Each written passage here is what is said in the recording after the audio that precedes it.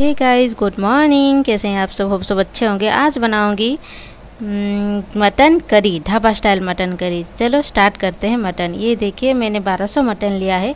उसको अच्छे से मैंने धो लिया है। उसको मैरिनेट करके रखा है। उसमें मैंने हल्दी पाउडर थोड़ा सा नमक और सरसों का ऑयल उसको मिक्स करके इसे मैरिनेट करके रख लिया है।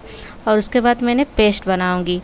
मैंने करी बनाने के लिए उसका पेस्ट बनाना है। उसको बाद मैंने इसमें लिया है जीरा धनिया छोटी सी अदरक और लाल मिर्च दो सूखी लाल मिर्च और काली मिर्च। उसको अच्छे से मैंने दरदरा पेस्ट किया है क्योंकि उसके बाद मैंने एक मीडियम साइज़ का उसको प्याज मैंने उसको उसके बाद फाइन पेस्ट करूँगी। थोड़ा सा अलग टाइप का बना रही हूँ तो, तो आपकी कभी ट्राई करिएगा। बहुत अच्छे से बहुत अच्छे से लगता है ये मटन ऐसे बनाना। ये देखिए मैंने फाइन पेस्ट कर लिया है। चलो अभी बनाएँगे mutton curry, dhaba style mutton curry.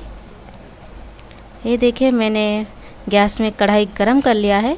उसके बाद मैंने खड़ा मसाला उसमें ऐड करती हूँ। खड़ा मसाला में मैंने लिया है दो तेज पत्ता, दो इलायची, बड़ी इलायची, छोटी इलायची और दालचीनी पा, दालचीनी मीडियम साइज़ का दालचीनी मैंने लिया है। उसको अच्छे से उसके बाद मैंने चार मीडियम साइज़ का प्याज मैंने अच्छे से ऐसे काट के रख लिया था। उसको अच्छे से भून रही हूँ। और उसमें थोड़ी सी लाल मिर्च पाउडर, थोड़ा हल्दी डालती हूँ ताकि बहुत अच्छा रहे, कलर भी बहुत अच्छा रहे उसका।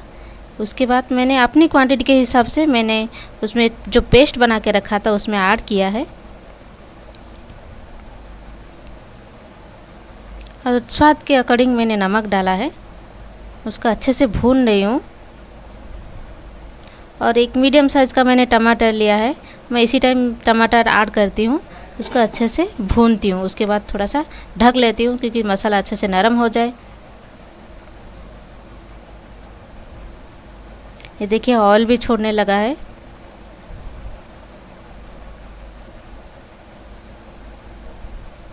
उसके बाद जो मैरिनेट करके मटन रखा था, उसमें ऐड कर लेती हूँ।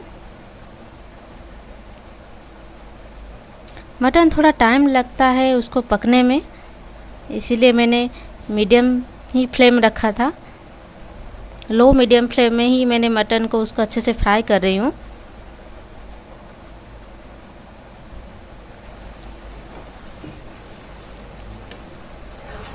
मटन को जितना अच्छे से भूनेंगे उसका टेस्ट बहुत अच्छा आएगा। और खड़ा मसाला भी उसमें ऐड किया है ताकि टेस्ट भी बहुत अच्छा रहता है और उस खुशबी बहुत अच्छा आता है। देखिए, मैंने उसमें पानी भी बिल्कुल ऐड नहीं किया, क्योंकि वो मैरिनेट करते टाइम थोड़ा सा नमक डाला, बस टेस्ट का अकॉर्डिंग उसे जब मसाला फ्राई कर रही थी, उसके बाद और नमक ऐड किया तो वही पानी छूट रहा है। तो मैंने बिल्कुल भी मैंने पानी नहीं दिया है।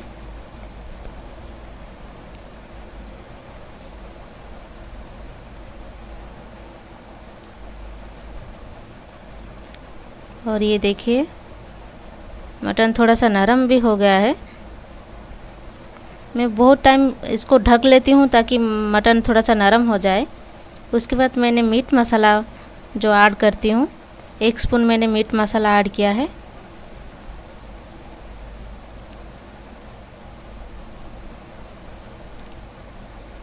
उसके बाद मैंने गरम मसाला ऐड किया है। घर का ही गरम मसाला बनाती हूँ तो वो उसका टेस्ट बहुत अच्छा रहता है और खुशबी बहुत अच्छी आती है।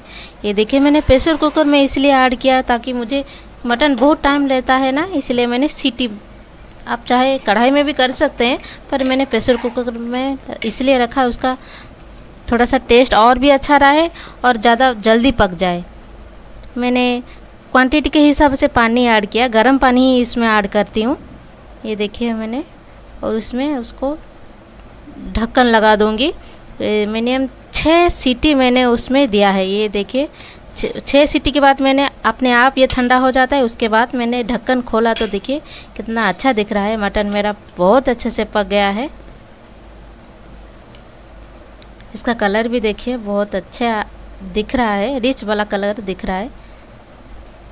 आप इसे रोटी और राइस के साथ भी खा सकते हैं। अगर चैनल पे न्यू है तो लाइक और सब्सक्राइब प्लीज़ करिए।